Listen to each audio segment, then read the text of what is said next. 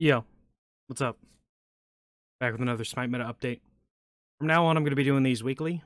I did do a poll on my community tab. Not sure how many of you see that come up on your YouTube feed or whatever, but uh, people want it weekly as opposed to bi-weekly how I've been doing it. This does mean that the content's going to be a bit more repetitive, but I'm going to do what people want. Anyway, as per usual, we're going to start with carry, move all the way over to solo lane. So for the carry role, we start with Sol. Sol has extremely high pressure, very high damage, and can get early kills very, very easily. This is kind of what your build's going to be looking like. Something along the lines of this. You want to get grip super strong because you're shredding prots for the magical damage dealers, which you are going to be seeing in Solo Lane a lot more. Breastplate of Determination is a luxury, not a luxury item. It's an item you can get if you want. It's incredibly strong. I wouldn't be surprised if the patch notes, which come out tomorrow, I'm recording this on the 11th, uh, not the 11th, whoa, I'm not in the future, on the 7th.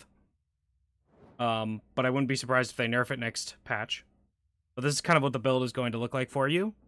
And overall, it's just incredibly powerful. High damage, I control the lane. Prey is another pick that you can be looking at. This is kind of what you're going to be building with her.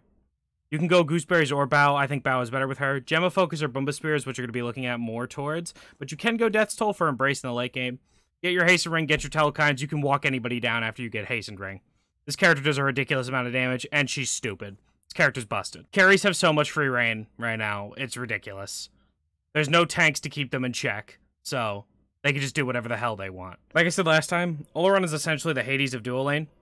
He gets pressure. That's what the character does. He gets pressure super easily. Time dilation is a very powerful ability to have. Overall, he's super strong. This is kind of be gonna be what the build you're looking for is.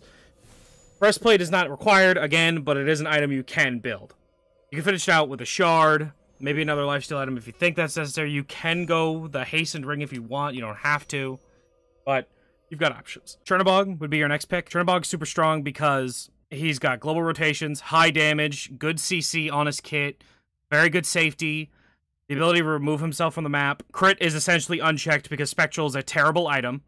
Um, and you don't really have tanks right now. You've got supports who are tanks in quotes, but that's about it. And maybe a somewhat tanky jungler, but crit is just the way to go right now. Physical hunters aren't really building Gilded Arrow that much, but it is still an option you can go. Um, Leather Cowl seems to be the favorite. Anhur would be the other one. This is the pen build. You can go. Um, and it is a little bit better on, on her because Anhur kind of plays into the mid and early game power that he has. But I think the crit build is just overall better for the physical hunters because it's just crit is not checkable right now because spectral armor is a terrible item. So maybe if you guys are interested, I could do what I think they need to change. Um, but they are releasing a patch tomorrow, so we'll have to see what they do in that patch. So let me know about that if you're interested in seeing what I think they need to change. In the support role, Umoja. As I said before, Breastplate of Determination, overstated item. You can go any of those starters. You go Sturdy Stew. Do not buy Bow on Umoja or Kakulid because they do not stack because neither of those characters use mana. They have a separate resource that is not mana. Therefore, they cannot stack Bow. Anyway, you kind of go Gauntlet, you go Breastplate, and then you go Fey Blessed on someone like Umoja because Fey Blessed is super powerful. You could swap the place of the Breastplate and the Fey Blessed, but she just heals so often with her two. Super strong. If you're good with Umoja, especially, play her and just dominate your games. You will be an absolute powerhouse on this pick if you're good with her. She's got good sustain, really good rotations. She's got player-made geometry on the map that blocks off entire areas, makes them buy Phantom Shell. Good CC, solid damage, good clear. Overall, very strong pick. Athena's fucking stupid and needs to be nerfed. Support, same build. You go Thebes, Breastplate. You can go any of these starters. Sturdy Stew.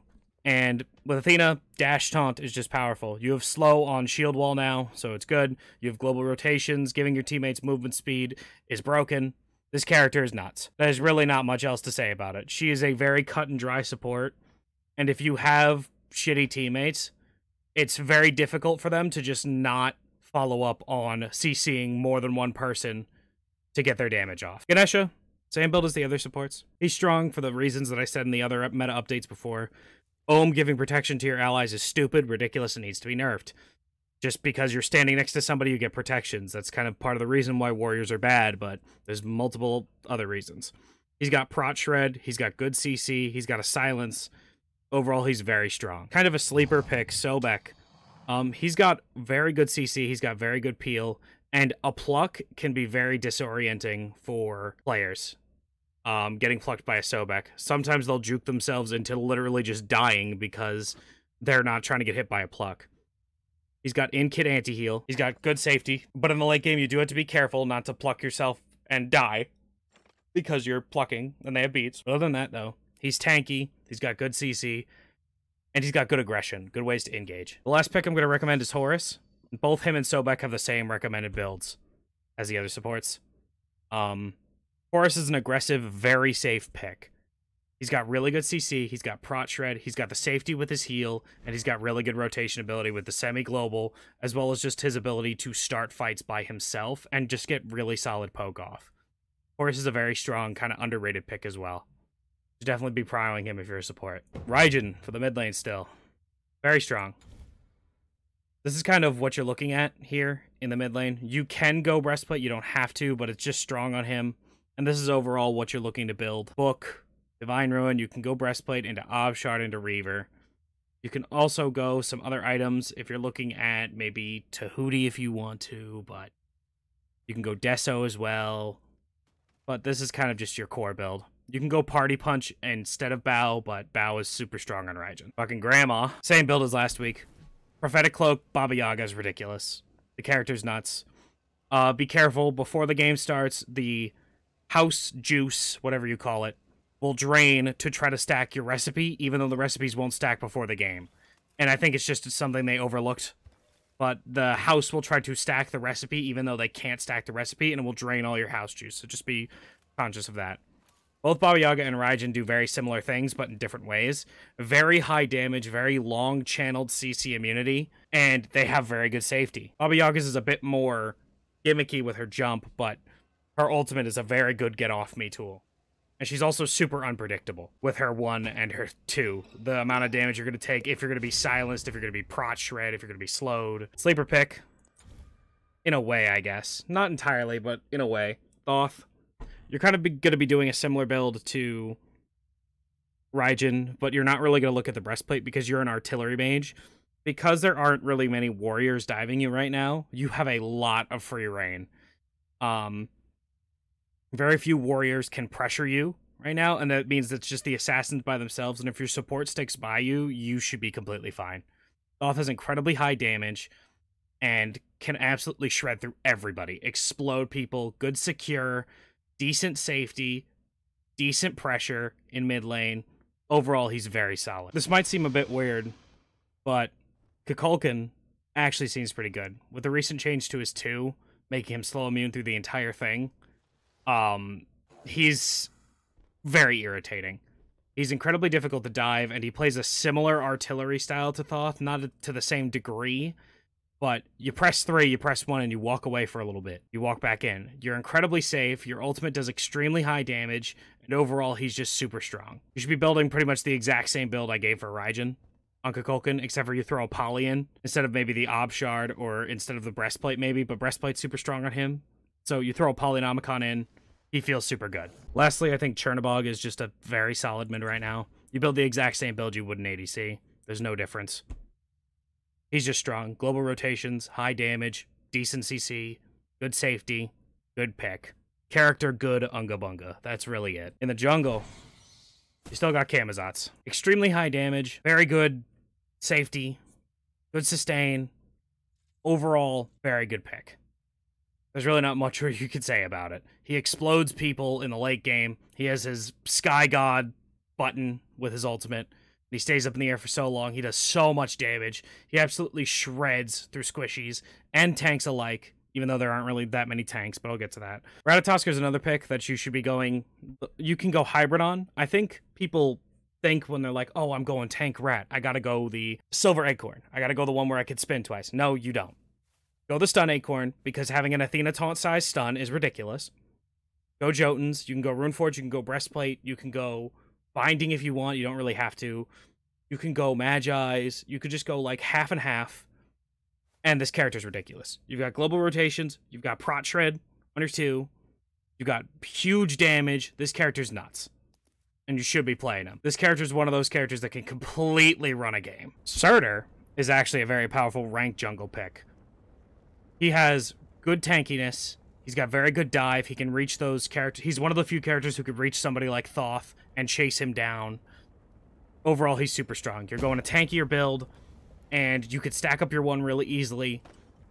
You have high damage, really good pressure throughout the game, and once you reach 60 to 70 stacks on your one, you're chunking people. Absolutely chunking. I know some junglers won't really have them in their pick pool, but he's definitely somebody you should keep an eye on and maybe put into the pool. He's pretty sleeper and very good. Another really solid pick, Lancelot. Very high damage, really good safety with the horse, especially into comps that don't have stuns. There's very little that can get that can get you off of it. He has really good chase. Overall, super strong pick. There's really not much more I could say about it. He could do a lot, and he can get a lot of stuff done. Lastly, I'm going to talk about Hun Batz. You pretty much can go the same build I put up for Lance. He is high damage, good clear, very good CC. His ultimate in the late game, in the mid game, in the early game. Once you hit five, you can gank whoever you want, get their beads, come back in a little bit, gank them again, and almost guarantee a kill. He's a super strong pick. And you can just farm people on cooldown if they don't have beads. Moving over to solo. Yeah, Opwash. I would argue that he is probably one of, if not the best ranked solo laner right now. This character can do a ridiculous amount of things he does absurd damage. He heals so much from eating up corpses. He is ridiculous. He has good lane clear. He has good 2v1 potential. Very good safety. Very good pressure in the late game team fights. Overall, he does what a warrior would want to do, but even better because he can actually kill people. I don't know. It just kind of speaks to a core problem with Smite right now. But Opwash is a super strong pick, and you should be abusing the hell out of him learn him and abuse the hell out of him in solo lane. He absolutely frags. Raijin again. Same exact build. You can go a binding, but it's probably better in something like rank to just go divine. This build is just kind of the build for the mages. You can go sack, shroud, or you can go blood soaked. I like sack shroud on Raijin. On Opwash, I like blood blood soaked. Um, on somebody like LeFay, you go the exact same build. I like Sack Shroud on her, but you can also go Blood Soaked. She builds the exact same thing and does very similar things. All of them have CC survivability, very high damage, and CC immunity. Raijin and LeFay both have long-channeled CC immune ultimates. Opwash doesn't have CC immunity, but Opwash has absurd damage to make up for it, more than the other ones. And he has very high healing outside of combat. Poseidon, you go the exact same build. High damage, Kraken is Kraken, very good farming capability. His mobility is very high. He's got good safety in terms of clear. He's got decent 2v1 potential. He's got good solo potential. Right now in ranked, there's very little reason to play a warrior because they just don't do shit. There's only one of them that really does anything in ranked, maybe two of them. The only one that does anything is Wukong because you build mostly damage on him anyway. You build him half and half. Yeah, but the only warrior worth playing is Wukong or maybe Hercules, but you're building mostly damage anyway, and you can't even go like double defense anymore. You have to go something like a brawlers because of how much lifesteal is in the in the kits or in the in the builds now for the solo lane mages. Wukong's really the only one who can keep up with their damage. Hercules can survive it, but Hercules isn't as good late game. Overall, right now, solo lane's not really in the most solo lane esque state. I'm fine with unique picks, and I'm cool with the mages. Honestly, I like mages and unique picks being allowed in solo lane and being viable but not when warriors are it's not when it's because warriors are so doo-doo dog ass that that's the reason they're being picked. Mages do their job, but better. Why would I dive their backline when their support gives them protections when I could just stand next to my support, do the same thing that they're doing, and be safe about it? You know? It's kind of what it is. Anyway, thanks for watching. As I said before, I'm going to be doing these weekly now. I'm also going to get back to doing the shorts versions of it because I feel like that's still just another opportunity that I should keep doing. Regardless, thanks for watching. Peace.